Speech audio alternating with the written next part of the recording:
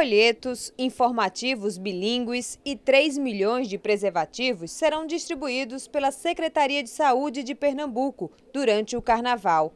As campanhas têm como foco a prevenção de acidentes e de doenças sexualmente transmissíveis, a exemplo da AIDS. Para os dias de folia de Momo, as principais emergências do estado vão contar com um reforço de 20% nas equipes de plantão.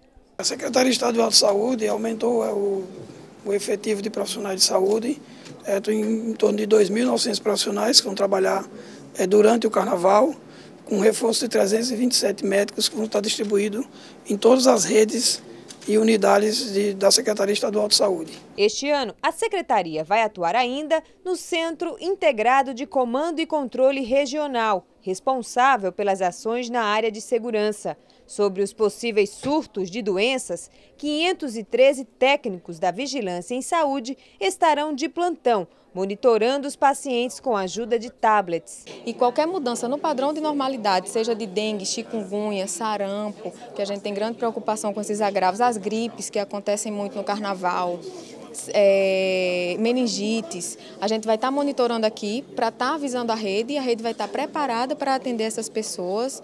Outra novidade é com relação à Operação Lei Seca. A partir da próxima sexta-feira, ela terá o horário ampliado e vai passar a contar com o apoio da Polícia Rodoviária Federal e também do Departamento Estadual de Estradas e Rodagens, o DER. Com essas parcerias, a gente está conseguindo aumentar o número de, de funcionários, digamos assim, trabalhando e aí a gente consegue abordar mais pessoas, mais condutores e a produção também é muito maior.